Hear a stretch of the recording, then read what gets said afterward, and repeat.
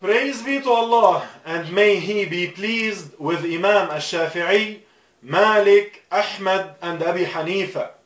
This is Al-Fatawa al-Hindiyya, also known as Al-Fatawa al-Alim according to the school of the great Imam Abi Hanifa al-Nu'man. This book was written by the noble scholar Shaykh Nizam with a large group of Indian scholars.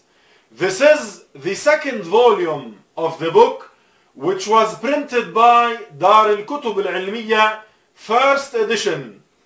On page 282 the author says what means a person commits blasphemy by testifying that Allah Ta'ala is in a place.